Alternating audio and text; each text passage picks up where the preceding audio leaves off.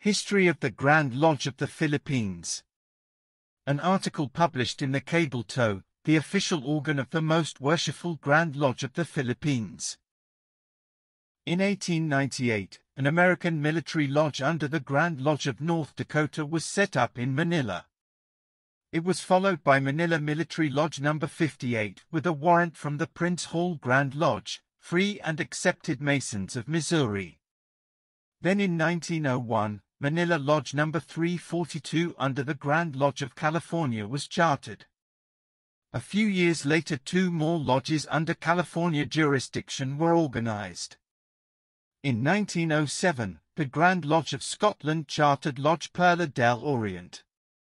This period too saw the organisation of Scottish Rite Bodies, Chapter of Royal Archmasons, a Council of Royal and Select Masters, a Commandery of Knights Templar, a Chapter of the Eastern Star, a Court of the Order of the Amaranth and a Club of the Mystic Shrine. In 1912, the three California lodges founded the Grand Lodge of the Philippine Islands. Alejandrino typified the Masonic preferences of the Filipinos. They were partial to Latin Masonry. Like the Americans, they experimented with multiple Masonic jurisdictions. The Filipinos re-established their lodge under the Gran Orient de España, Gran Orient Espanol, and Grand Orient Lusitano Unido. They founded lodges under the Grand Orient of France and the Grand Lodge of France. They even attempted to set up the Philippine Grand Orient. In 1907, the Filipinos who owed allegiance to the Grand Orient Espanol organized the Regional Grand Lodge of the Philippines.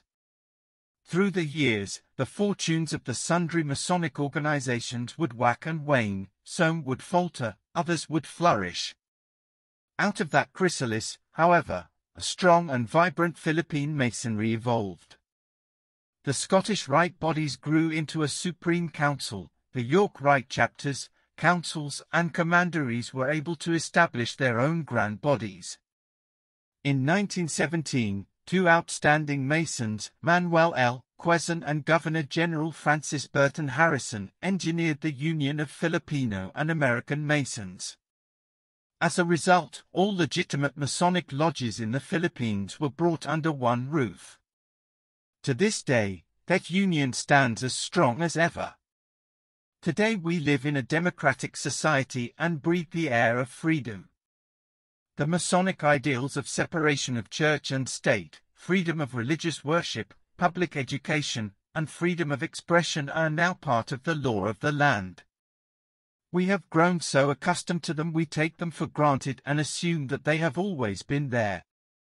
Once in a while, However, we should take stock and reflect on the sacrifices and hardships the pioneer Masons had had to endure that we may enjoy all these democratic freedoms.